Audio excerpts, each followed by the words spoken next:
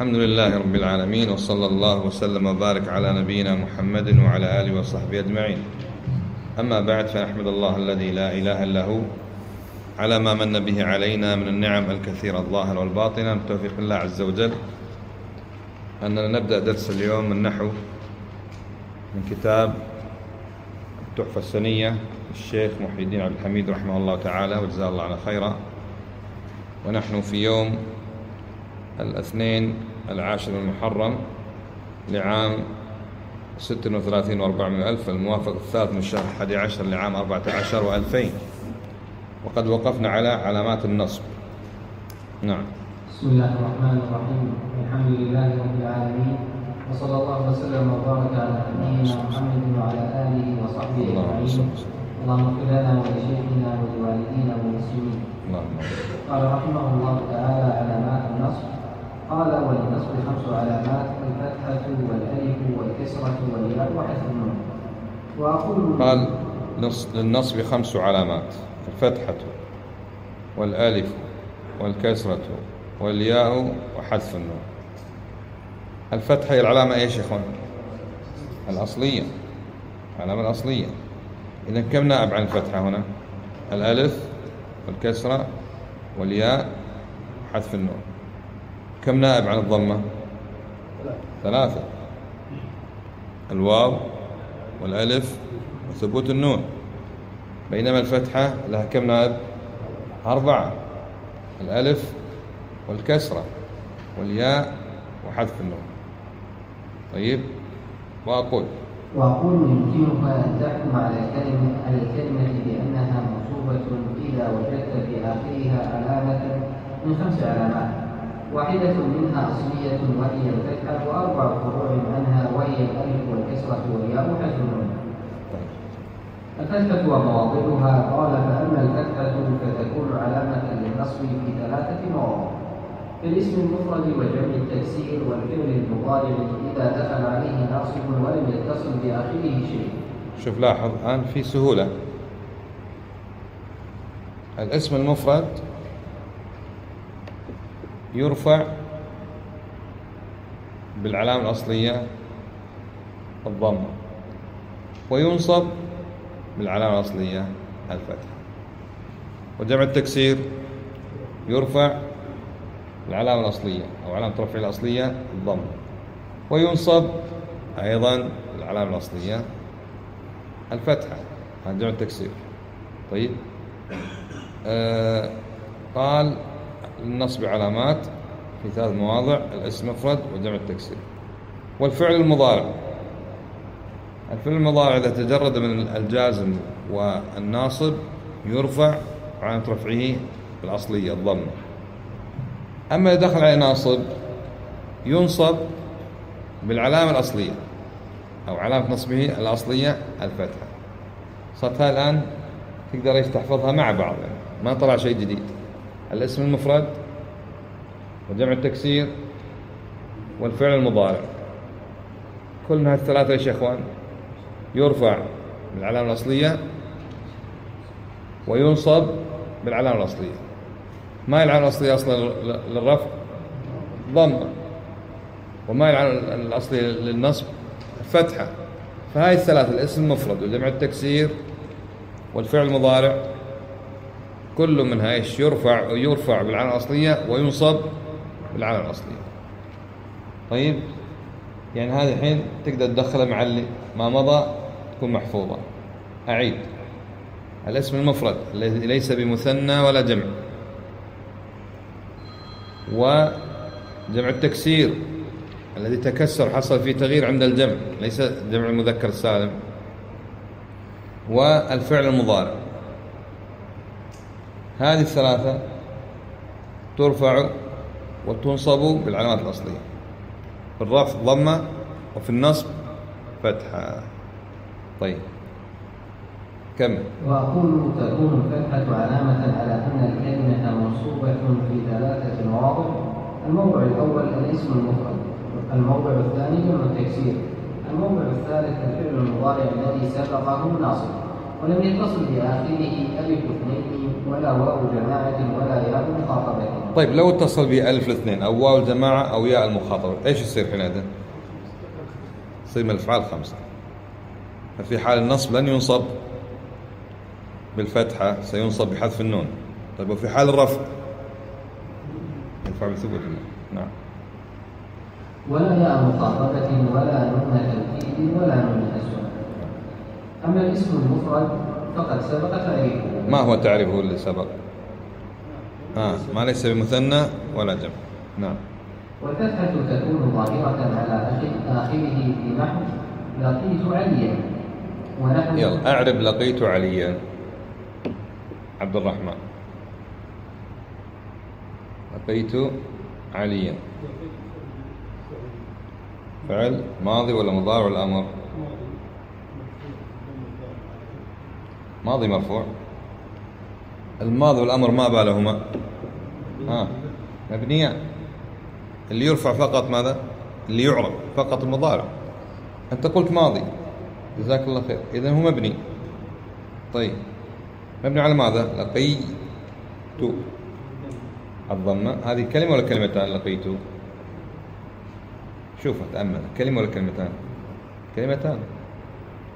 إذا لا نتكلم عن التاء حتى تقول مبني على الضمة. لقيت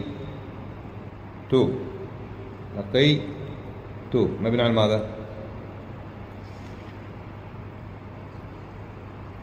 أين آخر حرف في الفعل؟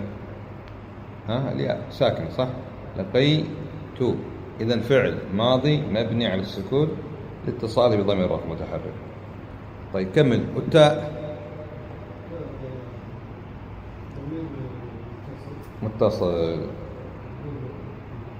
ما في تقدير كان موجود كان قدامك التقدير يعني ما تلفظه ولا موجود تقدير. لكن هذا تو قدامك شلون تقدير؟ إذا هو ضمير متصل مبني على الضم. في محل رفع فاعل مو قلت لقيت فعل. عليا مفعول به منصوب بالفعل. وعلامة نصبه فتحة الظاهرة على آخره. هذا مثاله. اسم مفرد جاء منصوبا عليا. فعلامة نصبه الفتحة العلامة الأصلية. كم؟ ونحو قابلت هند قابلت هندا. قابلت هندا. ترى مثل لقيته عليا. بس هذا لقي عليا. أنت إيش قابلت؟ قابلت هندا. نفس. اعرف. قابلت. مثلا ماضي مبني على السكون صالح إيش ضمير رفع متحرك. ضمير متصل مبني على الضم في محل رفع هندا مفعول به منصوب بال بالفعل. علامة نصبه فتح الله. أكبر طيب كم؟ فعليا وهندا اسمان مفردان وهما منصوبان لأنهما مفعولان. وعلامة نصبهما الفتحة الظاهرة والأول مذكر والثاني مؤنث. وقد تكون الفتحة مقدرة نحو لقيت الفتاة لقيت الفتى. أعرف. لقيت الفتى. أبا محمد صالح ابن علي. أعرف. لقيت الفتى. ترى مثل لقيت عليا. ها؟ فعل ماضي. على السكون. اتصاله صح بضمير رفع متحرك. لقيت والتاء. ضمير متصل مبني على الضم في محل رفع. فاعل صح. الفتى مفعول به صح. منصوب بالفعل وعلامة نصبه فتحة مقدر على آخر منع من ظهورها؟ تعذر ما شاء الله زين. كم؟ ونحن حدثت ليلى فالفتى وليلى اسمان مفردان منصوبان لكون كل منهما وقع مفعولا به وعلامة نصبهما فتحة مقدرة على الألف منع من ظهورها التعلق والأول مذكر والثاني مؤنث وأما جمع التكسير فقد سبق تعريفه أيضا. والفتحة قد تكون ظاهرة على آخره نحو صاحبت الرجال. ونحو راعيت الهنود. طيب صاح... صاحبت الرجال. أعرب. أعرب. صاحبت الرجال. صاحبت كلها صاحبت فعل الماضي آه. صاحبت. فعل ماضي صح.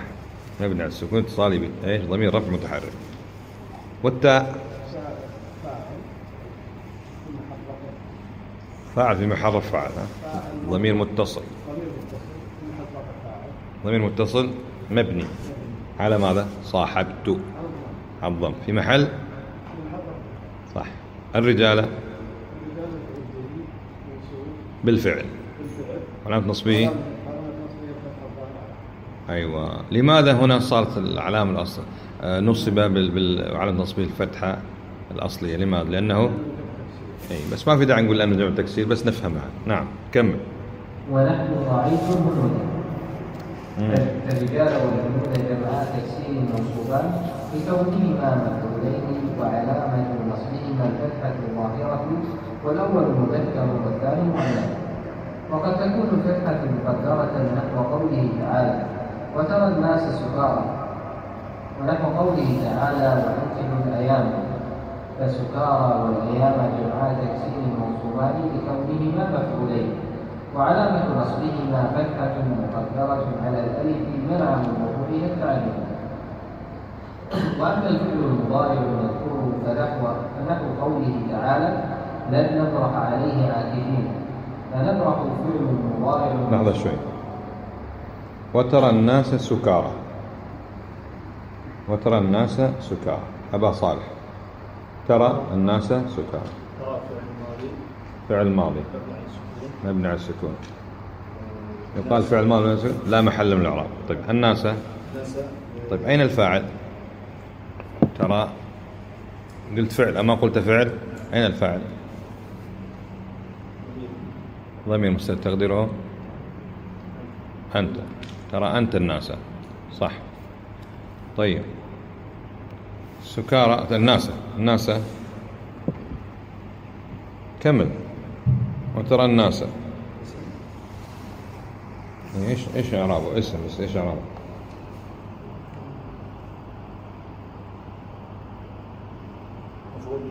مفعول به. منصوب بالفعل ها؟ منصوب بالفعل منصوب الفعل نصبه سكارى. ها؟ لا حال. إيش الفرق بين الحال والصفة؟ هم؟ إذا قلت رأيت محمدا مسرورا. تقول إيش؟ رأيت محمد الطويلة ترى واحد منها صفة واحد منها حال. رأيت محمد محمدا مسرورا أو محمد رأيت أو جاء محمد مسرورا. جاء محمد مسرورا. وتقول رأيت محمدا الطويل. ما الفرق بينهم؟ طويل صفة. ومسرورا؟ حال. كيف ميزت يعني الصفات معنا جيد ها. الصفة لازمة لا تتغير. الصفة لازمة محمد طويل هذا على طول طويل. الحال مسرورا يمكن يجي خبر ما هو ها يزعجه يصير حزينا. شفت الحال؟ شفت؟ هذه حالة. صفة موصوف فيها. الحالة يمر فيها. واضح؟ ثم أن الصفة تتبع الموصوف. يعني قد تأتي الصفة مرفوعة منصوبة مجرورة حسب الموصوف بها. تقول رأيت محمدا الطويل مررت بمحمد الطويل وجاء محمد الطويل. لكن الحال يأتي منصوب. الحال يأتي منصوب وأما الصفة فيتبع الموصوف. قد يكون مرفوعا أو منصوبا أو مجرورا. والصفة ملازمة للموصوف. الحال حالة يمر بها. فهنا يعني المؤلف إيش قال؟ قال آه وترى الناس نحو قال سكارى يقول والسكارى والأيامة جمع تكسير منصوبات لكو لكونهما مفعولين. وهذا كما يقول عندي في الحاشية سبق قلم من المؤلف وليس بمفعول. المفعول سكارى ترى أنت الناس سكارى لكن حالهم الناس هي المفعول به وحالهم أنهم سكارى فهو سكارى حال منصوب معناته نصبه الفتحة المقدرة منع من ظهورها التعذر. نعم. كم؟ وأما الفعل المضارع المذكور فنحو قوله تعالى لن نفرح عليه عاكفين لن نبرح عليه عاكفين. يلا أعرب يا أبا يوسف. لن حرف نفي ونصب واستقبال حرف نفي ونصب واستقبال كيف يعني نفي؟ ينفي الفعل. كيف يعني نصب؟ ينصبه. كيف يعني استقبال؟ يعني ينفي شيء في المستقبل. نعم. نبرح. نفرح الفعل المضارع المنصوب بلن وعلامة نصبه الفتح الظاهر على آخره. طيب. وفاعله ضمير مستتر فيه وجوبا تقديره نحن نعم. لن نعم. عليه على حرف جر نعم. لا محل له من الإعراب والياء ضمير متصل مبني على الياء. الهاء. الهاء.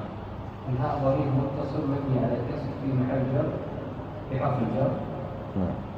عاكفين. عاكفي هنا عاكف يقول خبر نبرح لأن نبرح هنا من من من من أخوات كان فنبرح نحن اسم نبرح وعاكفين خبر نبرح. منصوب عن نصبه عن فتحة لأنه جمع مذكر سالم. والنوع عرض في الاسم. نعم؟ ما في. لا لا. كمل. فنفرح فعل مضارع منصوب بلن وعلامة نصبه فتحة ظاهرة تكون الفتحة مقدرة.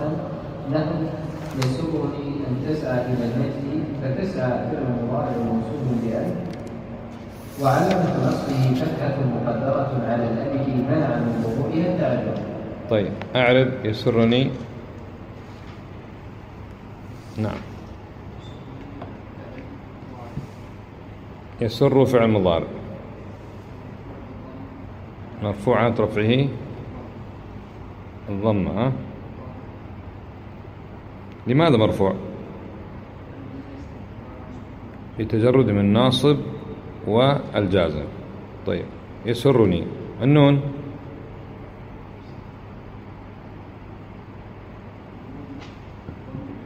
لا لا هذه النون يقال لها نون الوقاية. تسمى كنون الوقاية. نون الوقاية على أساس ما ينكسر الفعل بين الفعل وبين الياء المتكلم تأتي النون هذه. ضربني يسرني ها؟ علمني تسمى هاي نون الوقاية. الياء.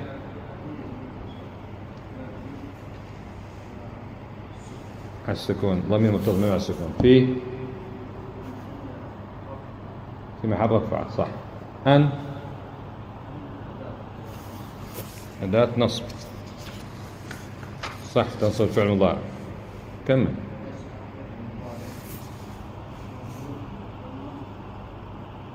ها؟ أن تسعى.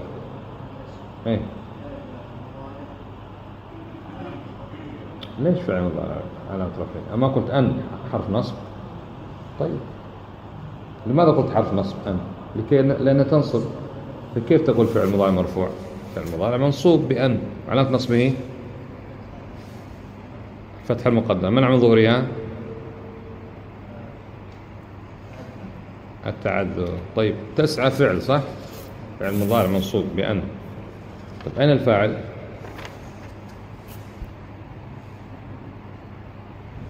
نعم مستتر وجوبا. تقديره أن تسعى أنت صح. إلى المجد إلى حرف جر والمجدي اسم مجرور بإلى على جره بارك الله. طيب يلا كمل. فإن اتصل بآخره فإن اتصل بآخر الفعل المضارع ألف ألف الاثنين نحو لن يضرب أو واو جماعة نحو لن تضربوا أو ياء مخاطبة نحو لن تضربي لم يكن نصبه بالفتحة إذا إيش يكون نصبه حينئذ؟ إذا اتصل بواو الجماعة وألف اثنين أو ياء المؤنث الخاطبة لن يكون منصوبا وعلامة نصبه الفتحة. يكون منصوب علامة نصبه حذف النون لأنه من الأفعال الخمسة واضح؟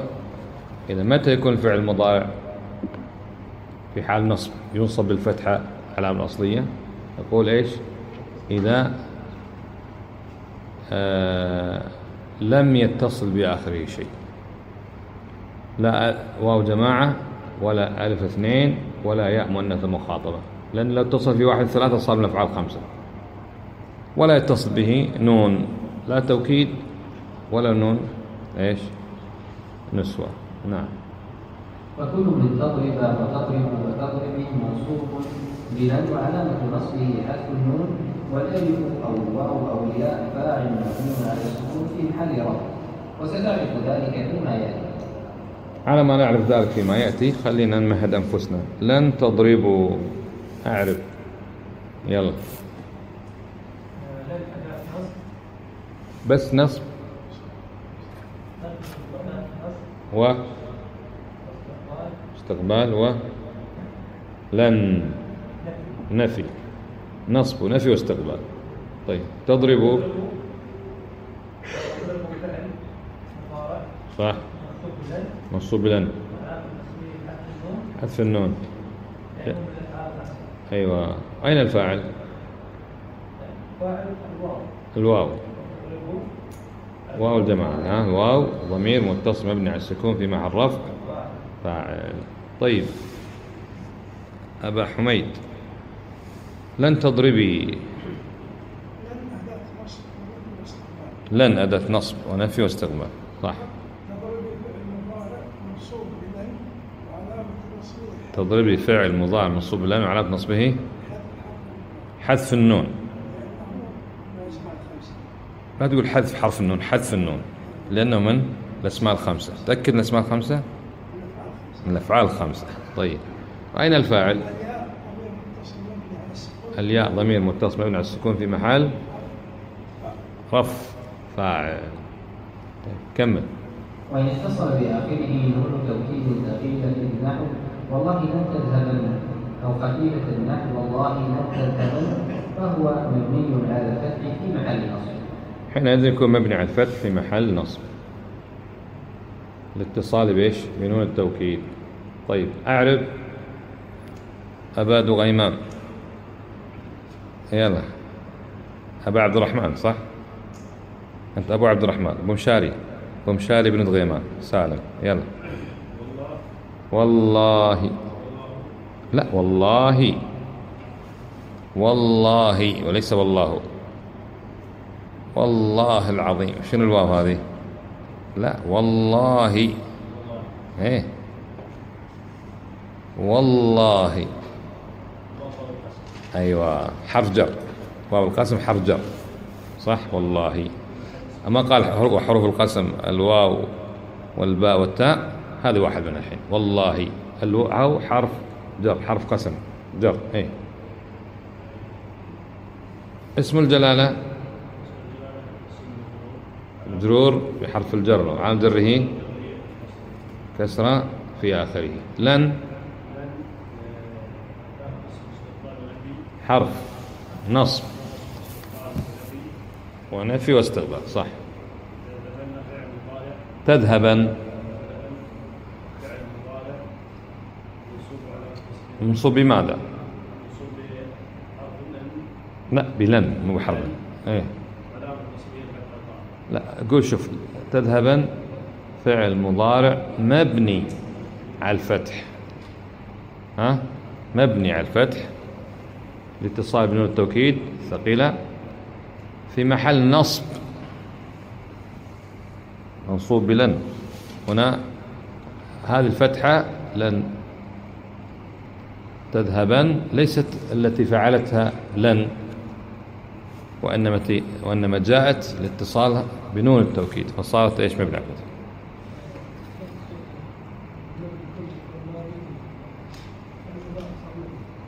أي هنا فعل مضارع مبني لاتصاله بنون التوكيد اتصلت به نون التوكيد. كما لو اتصلت به أيضا بعد نون النسوة راح يكون مبني على السكون والوالدات يرضعن. يعني هذا ال- البناء بسبب الاتصال.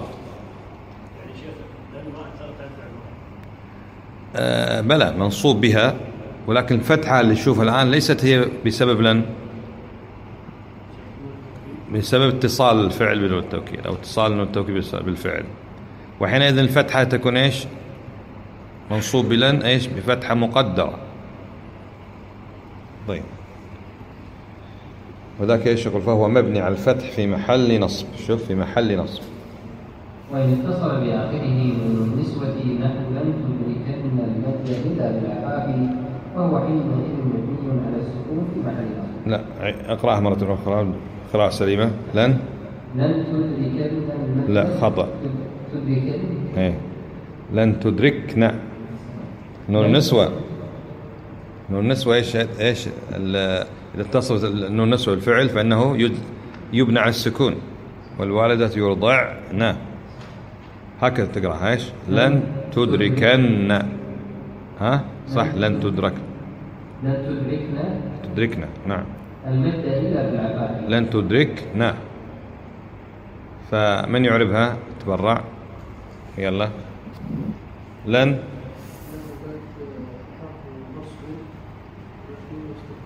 تمام حرف نصب ونفي واستقبال. فعل مضارع.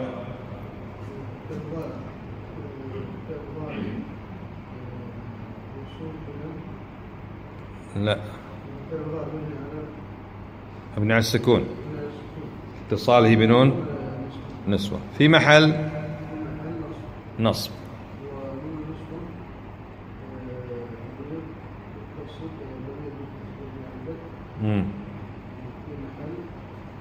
صح نون النسوة ضمير متصل مبني على الفتح في محل. صح صح. صح في محل رفع إيش؟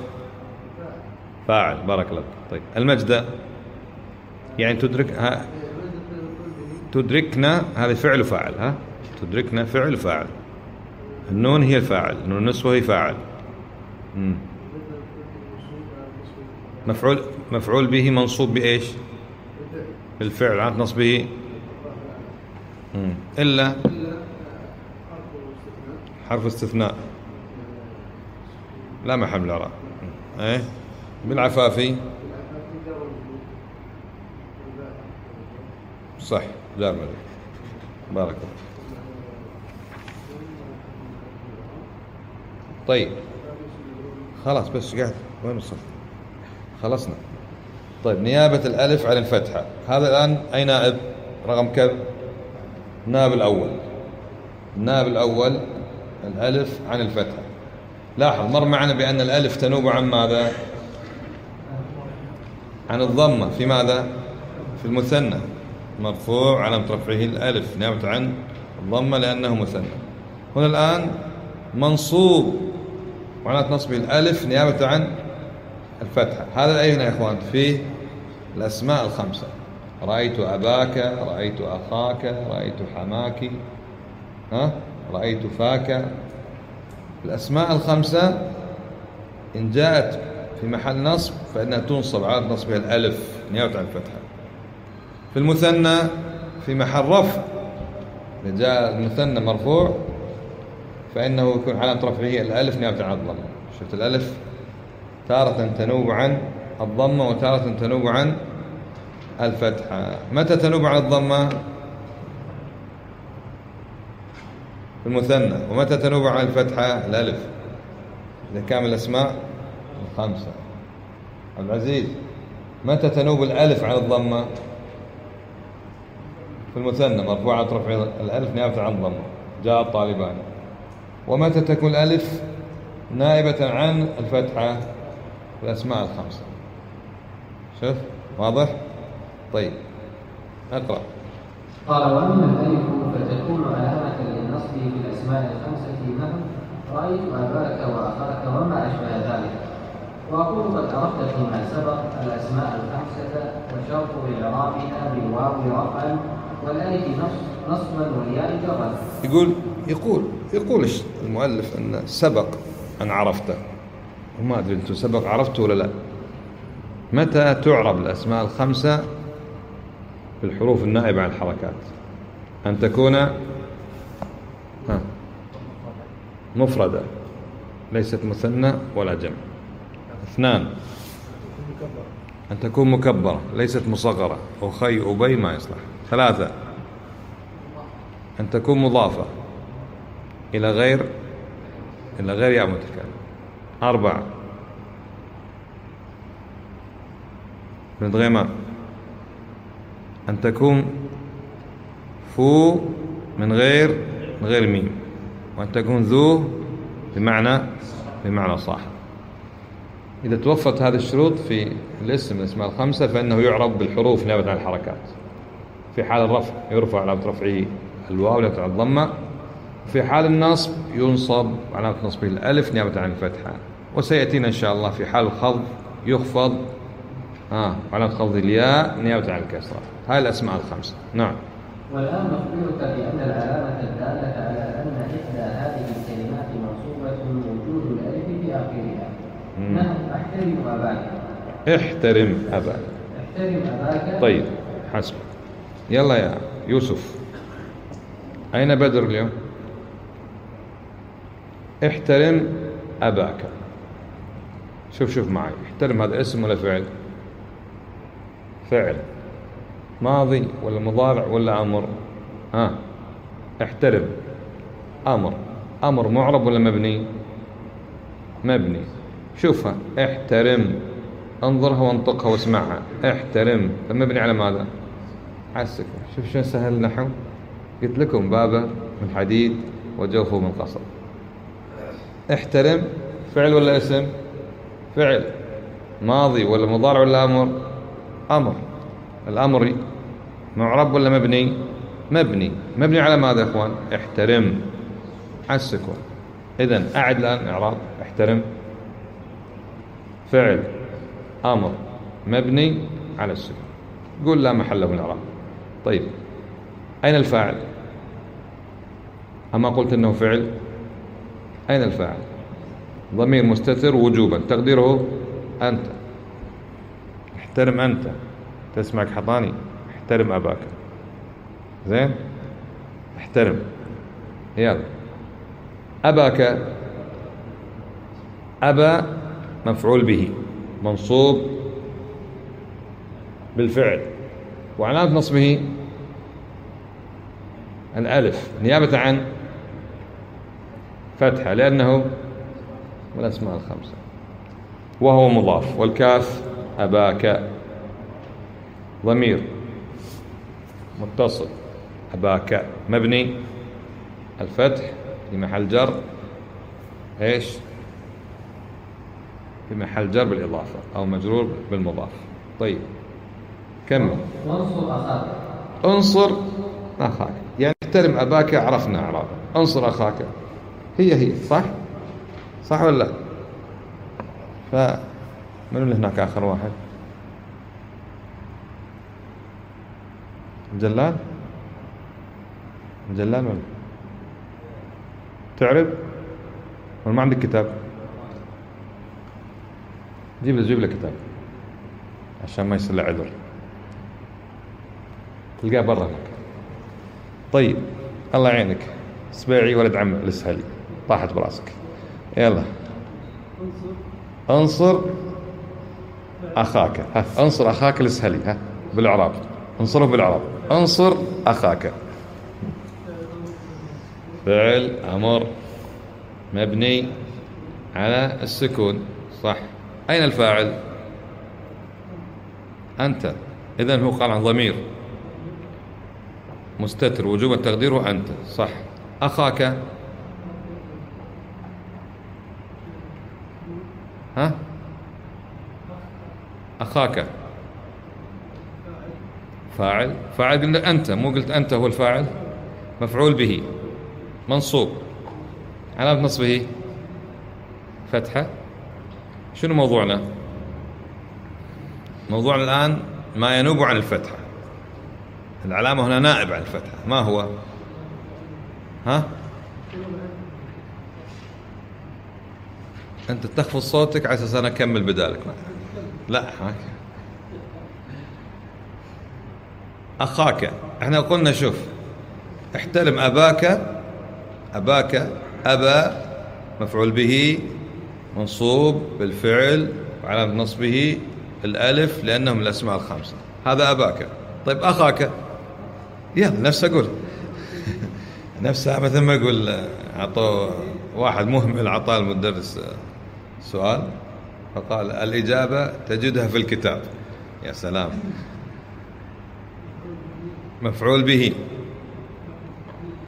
ها؟ مفعول به إيش؟ أدري مو الأفعال الخمسة أسماء الخمسة.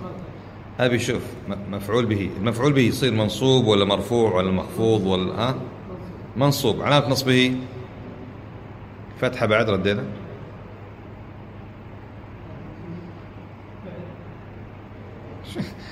كل معلومة عندك تقطها ما يصير هكذا لا. بس ركز معي شوي. والله ما راح أخليك اليوم إلا أنت تعرفها والله. اقسمت الكفارة يمين عليكم أخوان. أباك أبا مفعول به منصوب بالفعل. علامة نصبه الألف. علامة نصبه الألف. علامة نصبه فيها كفارة. علامة نصبه الألف. لأنه من الأسماء الخمسة. هذا أباك صح؟ طيب أخاك مفعول به منصوب. الألف. نيابة عن؟ عن الفتحة. لأنه من الأفعال الخمسة؟ بعد الأفعال؟ الظاهر كفارة فيني فيه لأنه من الأسماء الخمسة. الآن أبا محمد. ما الفرق بين الأفعال الخمسة والأسماء الخمسة؟ والصلوات الخمسة. ما الفرق؟ الأسماء الخمسة. أبوك أخوك حموك فو ذو مال هاي اسم الأسماء الخمسة. الأسماء. الأفعال خمسة أفعال. يفعلون تفعلون يفعلان تفعلان تفعلين. فأخاك هل هي من الأفعال الخمسة يفعلون تفعلون تفعلان يفعلان تفعلين. ولا من الأسماء الخمسة أبوك أخوك حموك ذو أو فو ذو مال. الأسماء الخمسة. فرق الأسماء الخمسة والأفعال الخمسة. الأفعال الخمسة ترفع بثبوت النون يفعلون. وتنصب وتجزم بحذف النون. الأسماء الخمسة ترفع عن رفعها الواو أبوك. وتنصب على نصبها الألف أباك أخاك. وتخفض على خفضها الياء أبيك أخيك. طيب الآن اعرف من جديد. انصر. فعل أمر على السكون. أين الفاعل؟ ضمير مستتر تقديره أنت. طيب. أخاك أخاك. مم. مفعول به صح. منصوب صح. الله أكبر على نص الألف لأنه الله أكبر. يعني لو قال من الأفعال الخمسة الله أعلم إيش راح يستفيد لكن الحمد لله قال من الأسماء الخمسة. وهو مضاف والكاف ضمير متصل مبني على الفتح في محل جر مضاف. زين. كمل. وزوري وزوري حماك زوري حماكي. زوري حماكي. عبد العزيز أبا إيش عبد العزيز أبا سعود يلا. زوري حماكي.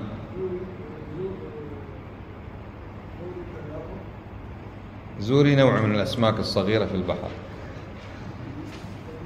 زوري. إيه. فعل هم؟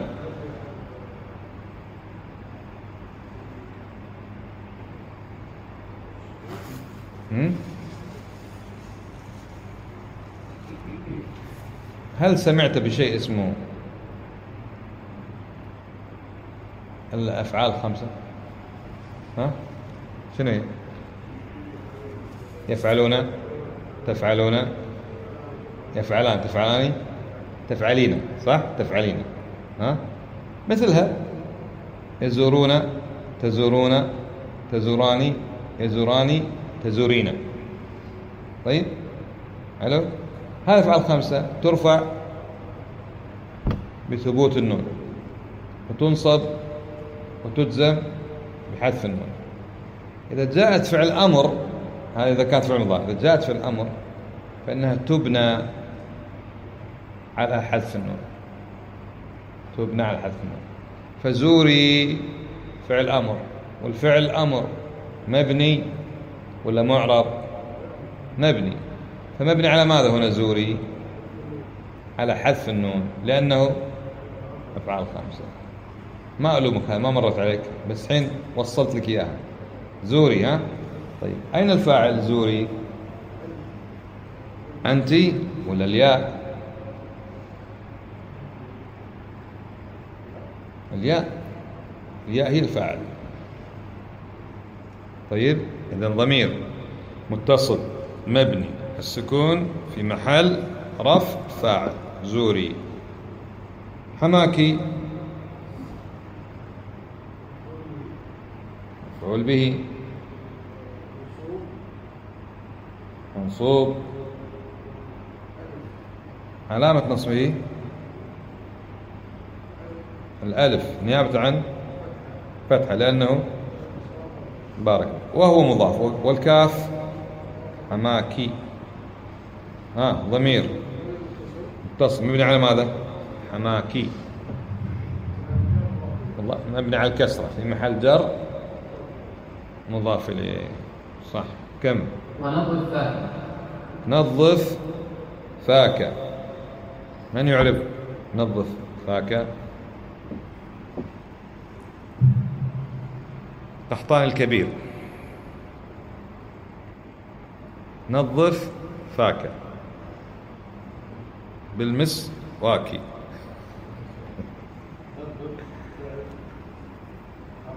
فعل أمر صح؟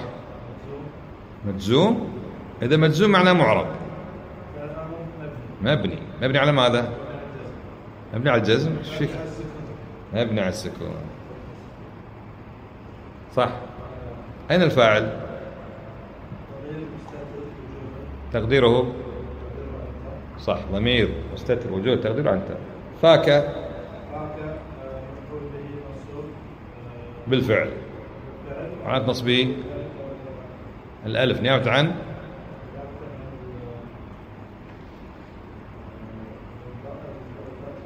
فتحة لأنه وهو مضاف. الكاف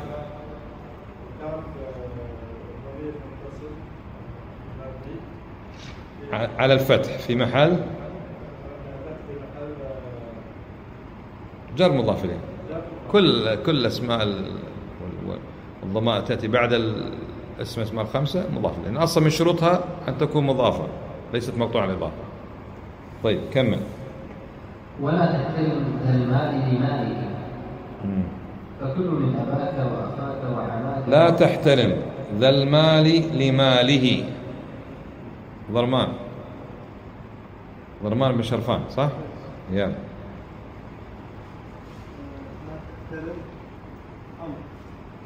أمر؟ لا أمر. نهي. إذا لا ناهية تجزم الفعل المضارع بعدها لا ناهية لا تحترم.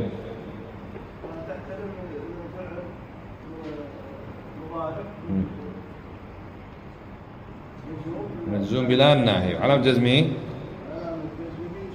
السكون. صح. لا تحترم. أما قلت فعل مضارع أين الفاعل؟ ضمير مستتر. وجوبا تقديره صح ذا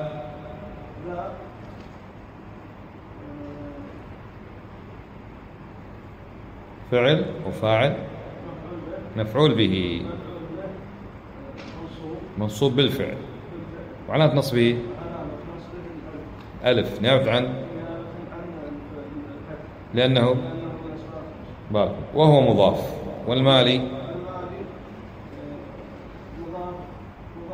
مضاف إليه. مجرور بالمضاف. على جره لماله.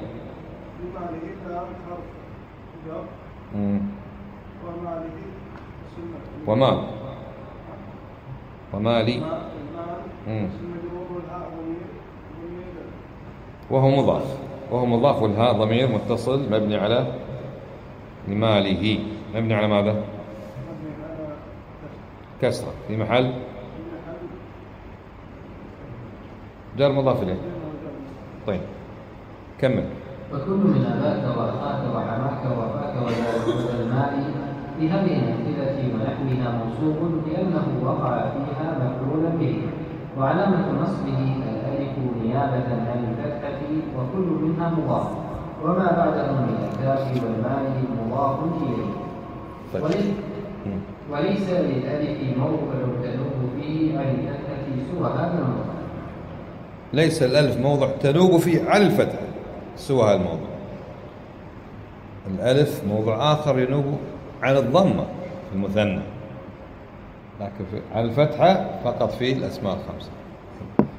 الدرس الأخير اليوم أو آخر ما بقي من درس اليوم نيابة الكسرة عن الفتحة. نيابة الكسرة عن الفتحة. طيب نقرأ. قال وأما الكسرة فتكون علامة للنصب في جمع المؤنث السالم. جمع مؤنث سالم. لا اسم آخر.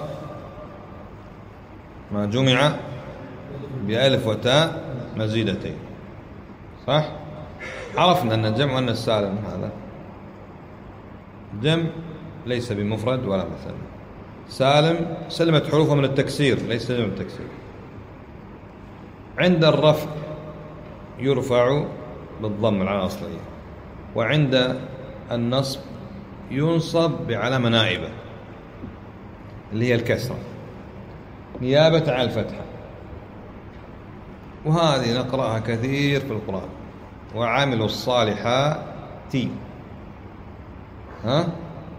خلق السماوات. لله ما في السماوات. فصالحات السماوات تأتي من موضع نصب ومنصوب علامة نصبه الكسرة نيابة عن الفتح. إن المسلمين والمسلمات والمؤمنين والمؤمنات والقانتين والقانتات والصادقين والصادقات. تجد أن هذا الجمع المؤنث السالم في حال النصب تكون علامة نصبه ماذا الفتحة ولا الكسرة؟ الكسرة. علامة أصلية ولا نائبة؟ نائبة. نائبة عن ماذا؟ عن الفتح. هذه القصة كلها. نعم اقرأ. وأقول قد عرفت فيما سبق جمع المؤنث السالم والآن نخبرك أنه يمكنك أن تستدل على نصب هذا الجمع بوجود الكسرة في آخره وذلك نحو قولك إن الفتيات المهذبات يدركن المجد. إن الفتيات المهذبات يدركن المجد. أعرف. يلا نخلص الدرس. أعرف. محمد. حرف. إن. توكيد. ونصب. ينصب صح؟ طيب. إن حرف توكيد ونصب. حرف ناصب. الفتيات اسم إن. منصوب بها. علامة نصبه الكسرة نيابة عن؟ عن. لأنه نعم. فتياتي اسم إن منصوب بها وعلامة نصبه الكسرة نيابة عن الفتحة لأنه جمع ذكر مؤنث سالم المهذبات.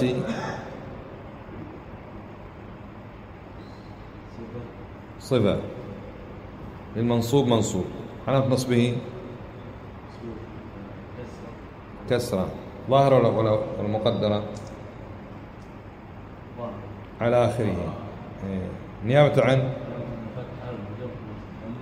لأنه جمع السالم نيابة عن الفتحة لأنه جمع السالم يدركنا من يكمل. حاتم يدركنا. يدركنا فعل مضارع. يدرك نعم فعل مضارع إيش فيه؟ مبني على السكون لاتصاله بنون النسوة. والنون؟